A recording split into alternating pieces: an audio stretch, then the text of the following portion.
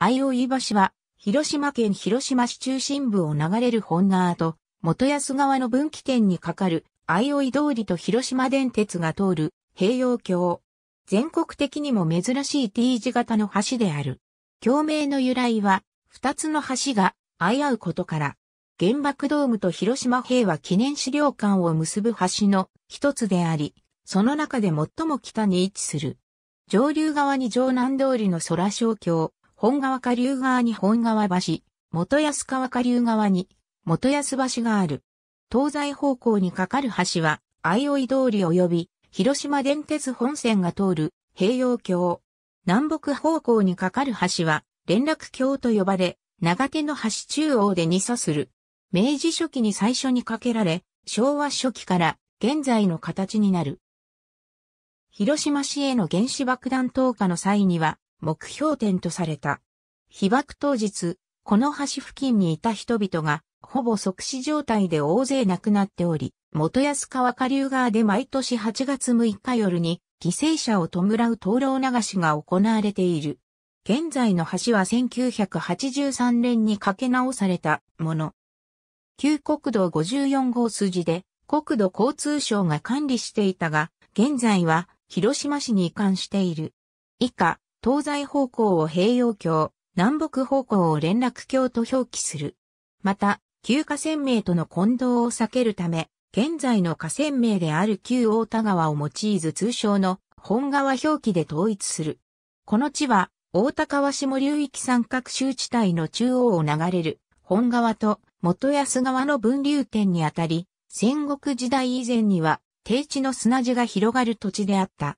クリップ、小北条絵図秋国広島木所絵図。安土桃山時代、毛利照元により広島城が築城されると、城下町として発展した。城の南に本通りが整備され、ここより南に元安橋と本川橋が架橋される。江戸時代初期、福島正則により同地は治められることになり、生息により城下町のさらなる整備が行われ、主要交通ルートだった山陽道は本通りから元安橋と本川橋へ抜けるルートに変更された。また生息は城の西側を補強し、本川を西側の外堀と位置づけて整備した。後福島市は転封され、代わって浅野長明が入城し、以降明治時代まで浅野市により城下は治められることになる。つまり、近世までこの地は、広島城の外郭南西端であることから、防衛上の理由により、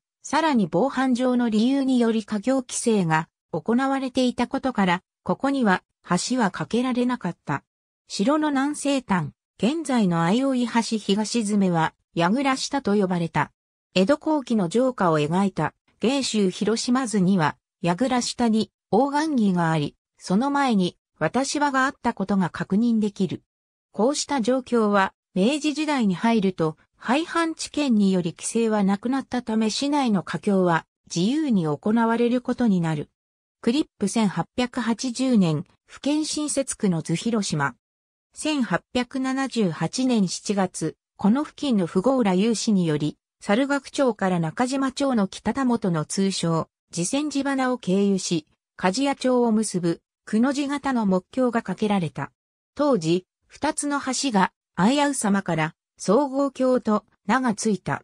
渡る時にその符号が金銭を徴収したことから別名、千鳥橋とも言われた。当時広島一の繁華街であった中島町をこの橋がつないだ。交通の要衝として西方向から当時広島城敷地内にあった広島賃台や西連平城を結ぶ重要な橋となった。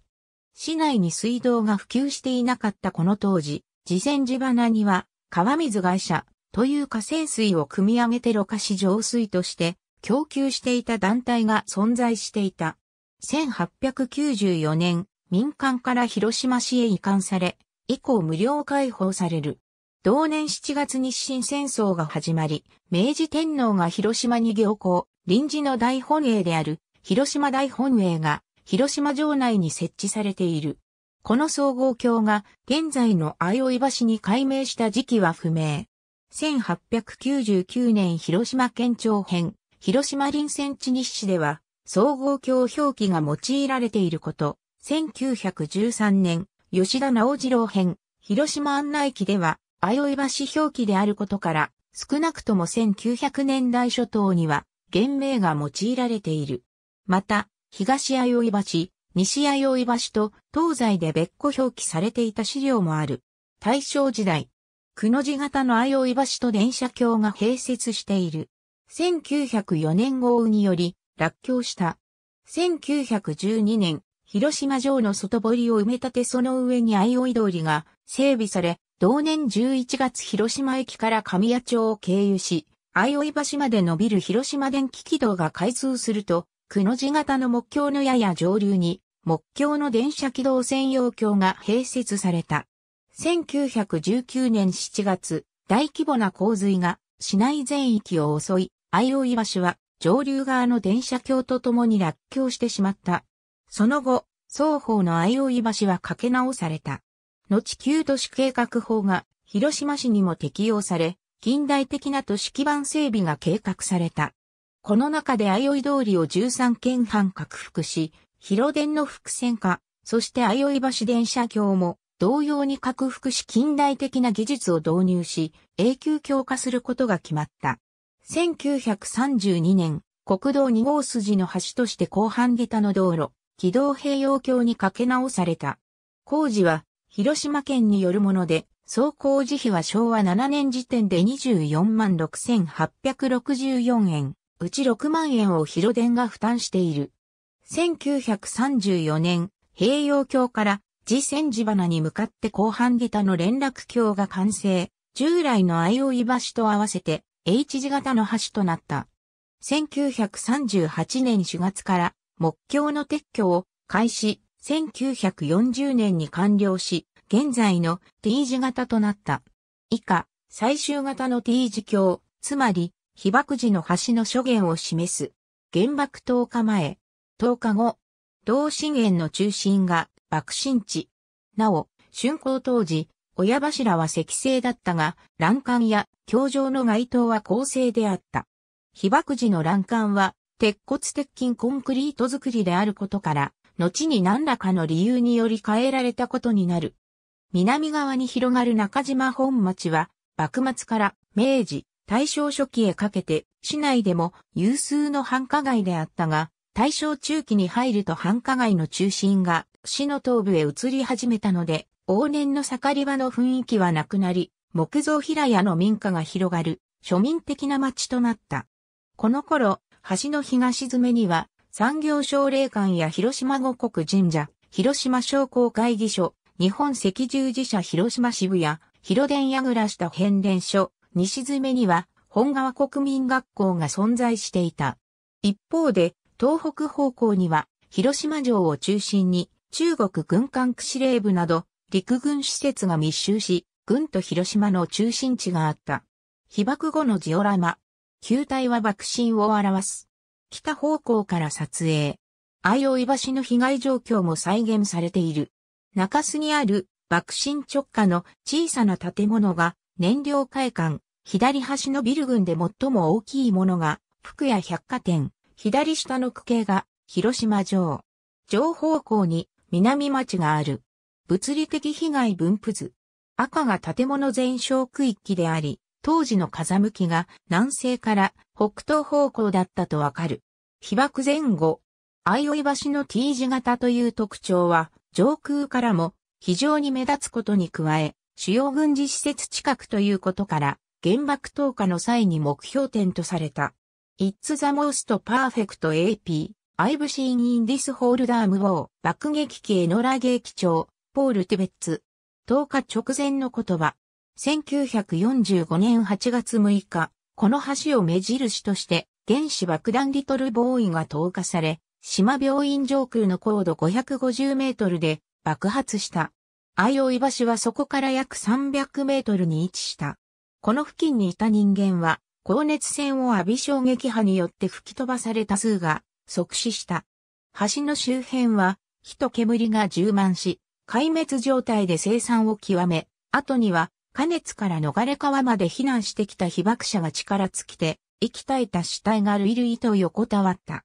橋の下では流されてきた死体によって、水面も見えないほどであった。この際、相生橋は、落橋から免れた上になんとか通行できる状況であったことに加え、下流側の本川橋が渡れない状況であった。爆心下の大手町や国体寺町、中島町で奇跡的に生き残った被爆者は、風向きの関係から多くが西や南へと逃げ、この橋を渡って西部あるいは北部へと避難路を求めた。中島町の燃料海岸地下にいたため負傷を免れた野村映像は、そこから北進し、連絡橋を渡り西へ逃げている。福屋百貨店付近で被爆したとされる第二総軍教育参謀中佐のりは、この橋付近で倒れていたところを発見された。その後彼は軍属により、本川橋に沈め近くの防空壕に一時的に運ばれ、陸軍船舶兵に船艇で拾われ二ノ島県役所まで運ばれたが、翌7日午後4時過ぎに絶命した。中国軍艦区司令部や西連兵場で被爆した兵士は、加熱を逃れこの橋上流側の本川の堤防までたどり着いたが、そのまま力尽きたり、あるいは北へ逃げていった。被爆翌日にこの橋付近にあったアメリカ人捕虜の死体は多数の日本人に目撃され、その後葬られ原爆供養等に骨が収められた。なお被爆時に橋上に電車は通行していなかった。当時市内電車の電源を操作していた東詰のレンガ作りの櫓下変電所は前回変電所で作業していた7人は即死している。同日夜から翌7日まで暁部隊が出動し、この橋付近の負傷者を臨時救護所となった本川国民学校や他の臨時救護所へ移送していった。この橋日が沈めは通行に困難な状況であったが被爆同日から瓦礫撤去作業が行われている。同月8日から15日にかけて周辺の河原で死体処理作業が行われた。被爆後に帰広した政府の原爆調査団は元安橋と相生橋の被害状況から爆心地の特定を行った。一般的なバンケタ橋の大面。1、全幅2、福音3、欄干4、自幅5、歩道6、縁石7、路肩8、車道9、舗装10、小板11、シュゲタ原爆被災その当時市内に架橋されていた主要49橋のうち41橋が残った。その中で唯一この橋だけ欄干が破壊され川に落下すると同時に、鉄筋コンクリート小板が最大で1.5メートルほど浮き上がって破壊される現象が起きている。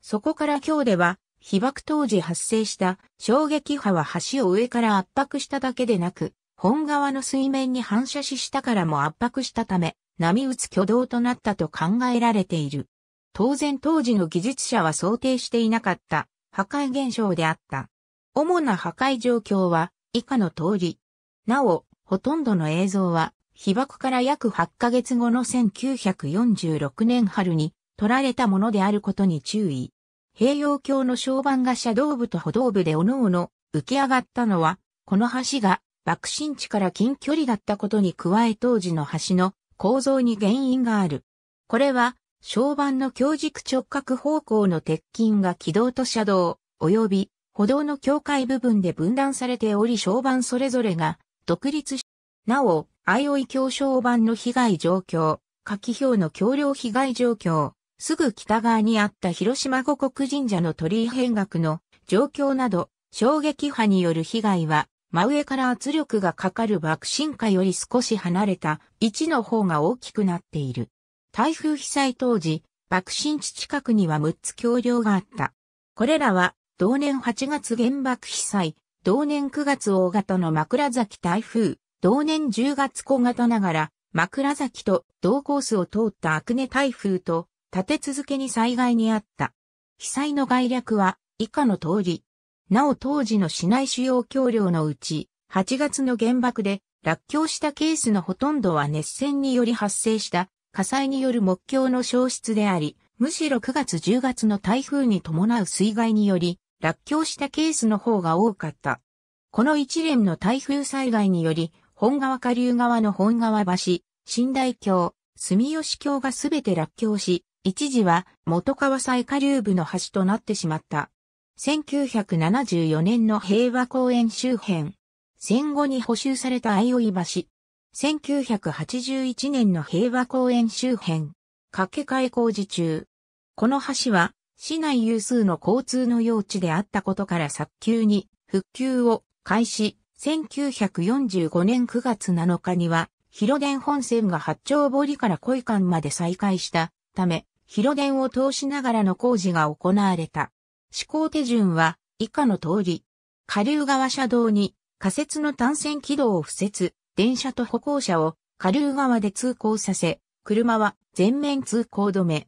上流側歩車道及び既存複線軌道を撤去、鉄筋コンクリート小板を新規施行し、複線軌道を新規敷設。電車を全面開通、歩行者は上流側歩道で通行させ、車は全面通行止め。下流側の仮設単線軌道を撤去、残り下流側歩車道の鉄筋コンクリート小板を新規施行。原爆と平和を象徴する橋として市民から要望されたことに加え、原爆記念保存物として観光利用も期待されていたこともあり、欄干や親柱に原爆死没者慰霊碑にも用いられた味石が採用されるなど、復旧費用がかさみ、事業費は跳ね上がった。工事は戦災都市復興事業の一つとして国家補助事業で行われ、1949年に全面復旧した。補修総事業費は当時で530万円。これと並行して1952年広島市により、広島平和記念都市建設計画が立てられ、南側の中島町から原爆ドーム一帯を広島平和記念公園として整備されていった。道路法施行に伴い、1953年に旧国道182号、広島松江線に、1963年一級国道54号に昇格、1965年道路法改正に伴い一般国道54号の橋梁となった。また1977年から国の大高川校長対策事業に伴い周辺の護岸整備が始まった。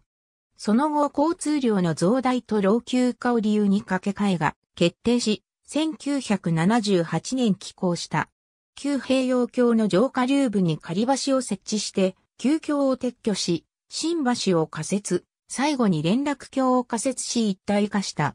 周辺の景観と調和するよう配慮され、親柱、欄干は、三影石が採用され、広電の河川柱が T 字型のセンターポールに変更されている。1983年相生橋は再開通した。総事業費約48億円。1996年原爆ドームは世界遺産に登録された。後に広島市は条例平和記念施設保存整備方針を制定し、平和公園一帯をそのバッファーゾーンとして区分し、周辺環境を保全している。これに相生橋全域が含まれている。2008年、道路管理者が国土交通省から市に移管され、国道54号から国道183号に変更された。親柱が3つとも現存している。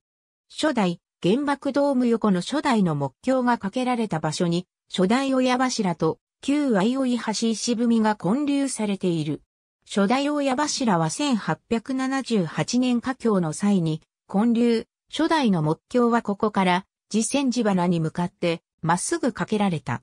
旧相生橋石踏みは、木橋が完全撤去された1940年、建立。旧相生橋石踏みのみが、被爆以降であり、一時は紛失したが見つかり、現在位置に戻された。二代、中島長寺線地花にある親柱。これは1945年被爆後、復旧工事の際に連絡橋親柱の位置に再建されたものである。1983年現橋掛け替え時に現在地に移設。なお、1932年竣工及び被爆当時の平洋橋及び連絡橋の親柱は、さらにこの上に石柱が積まれているような形状だった。三代、1983年現橋掛け替え時に設置。表明は、灘尾広吉の記号。半球部分は、原爆ドームをモチーフに、平和を支える市民の力を、手すり部分は、人々の連帯をイメージしてデザインされた。原爆ドーム横の原親柱の下流側には、橋名板碑が置かれている。これは被爆後に補修された2代目の橋の共鳴板を原橋掛け替えの際に再利用したものである。橋の歴史を刻んだ説明板も設置されている。さらにその南にはこの近所で生まれた鈴木美恵吉の鈴木美恵吉文学碑が置かれている。下流側は赤い鳥の表紙を模し、上流側は三重吉直筆の詩が刻まれている。夜間日が沈めに、原爆ドーム、広島商工会議所、広島市中央公園、広電原爆ドーム前停留場などがある。護岸整備されており、こちら側のみ橋の下をアンダーパスで歩いて通れる。上流側は市民球場跡地再開発に伴い再整備が予定されている。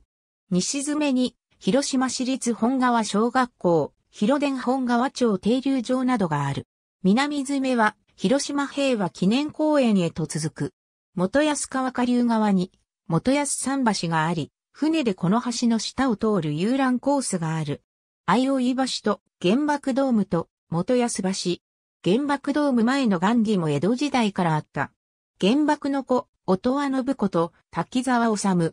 背後に親柱が映っている。広島原爆関連作品に数多く登場する。特にこの橋をテーマとした作品を列挙する。ありがとうございます。